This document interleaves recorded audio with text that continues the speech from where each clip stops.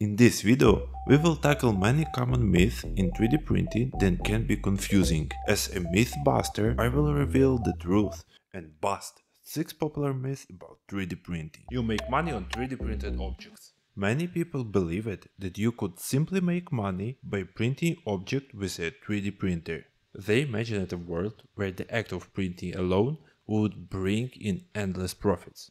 However, the reality was quite different. The true value of 3D printing lay not in objects themselves, but in the solution these objects provide to customer problems. People were willing to pay for innovative solutions that addressed their specific needs. This shift in perspective transformed the 3D printing business into a service-oriented industry where understanding and solving customers' problems became the key to success. I don't need modeling skills for 3D printing business. One of the most pervasive myths in 3D printing industry is the belief that you don't need any modeling skills to run a success 3D printing business. The allure of simply downloading or purchasing ready-made models and tuning them into profitable products can be quite strong. However, the reality was quite more nuanced. Consider this scenario.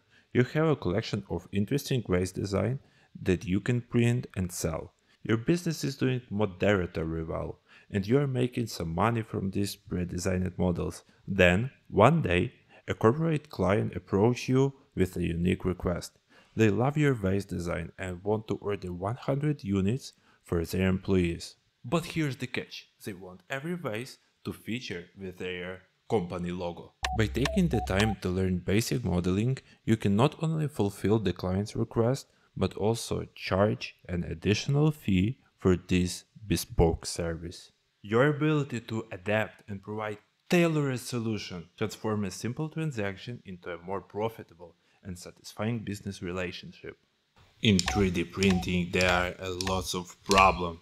When you first start with 3D printing, it might seem like there are always problems. The early challenges can be tough, like getting the bed leveling or dealing with filament jams, but each problem you fix helps you learn more. Over time, these issues became easier to handle and new problems don't happen as often. As you gain experience, you became more confident, and what once seemed hard is now simple. Remember, the difficult learning period is only temporary. Keep going and 3D printing will get smoother and easier. You need a lot of tools to start.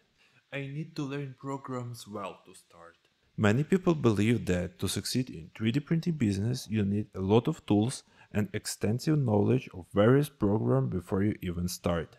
But reality is always quite different.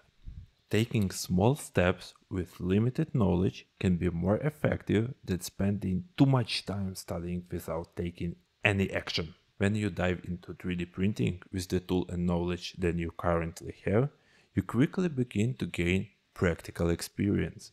This hands-on experience allows you to understand the workflow at each step, and you became adept at solving initial problems that arise.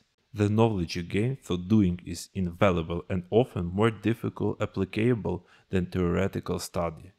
As you continue to work, your skills improve, so you start to see the rewards from your efforts. This approach not only builds your confidence, but also foster a more resilient and adaptive mindset, unlimitedly leading to greater success in 3D printing business. I wish you successful printing and growing bank account.